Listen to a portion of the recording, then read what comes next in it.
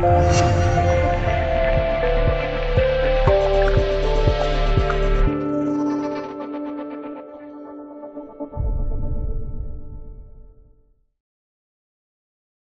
方面称，北约秘书长讲到当今的世界时，特别指出西方世界如今正处于一盘散沙之中，并且有分裂的危险。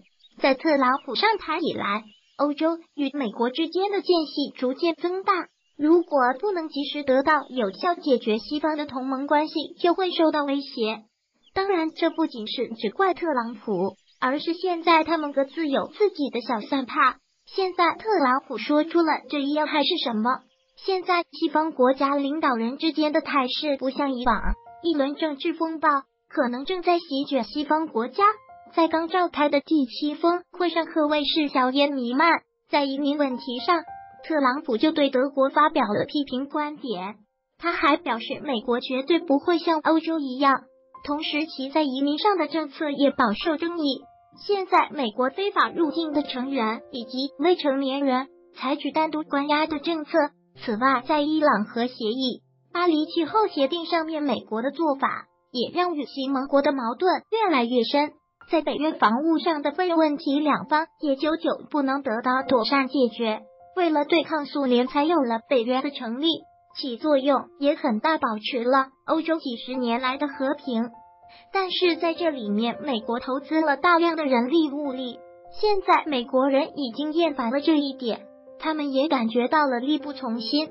在今年七月将要召开的北约峰会上，防务费用的的分配问题肯定会有所提及。以前的规划是在二零一四年，二十九个成员国的军费开支应在 GDP 的百分之二，但是目前为止仅有八个国家达到了这个水平。美国对此是非常不满意的，甚至还警告要对付这些国家。其实美国的不满是有一定道理的。自从建立北约以来，大部分成员国一直在乘着美国的顺风车，他们将大量的资金用去建立福利项目。美国用自己纳税人的去帮助他们，心里肯定是不舒服的。前任总统奥巴马就曾表示，这种情况不会一直持续下去。但显然，欧洲并没有将其放在心里去。此次特朗普上台后，他的作风较以往美国总统强硬很多，显然是抱着很大的决心要把这个问题给解决了。欧洲方面称，特朗普虽然做法不是很好看，但他确实说到了现在西方国家之间存在的问题。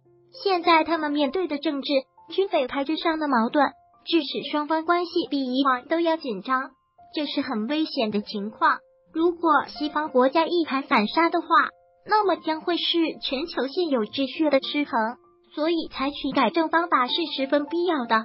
今后将会向何方发展，还要看双方能否达成某种协定。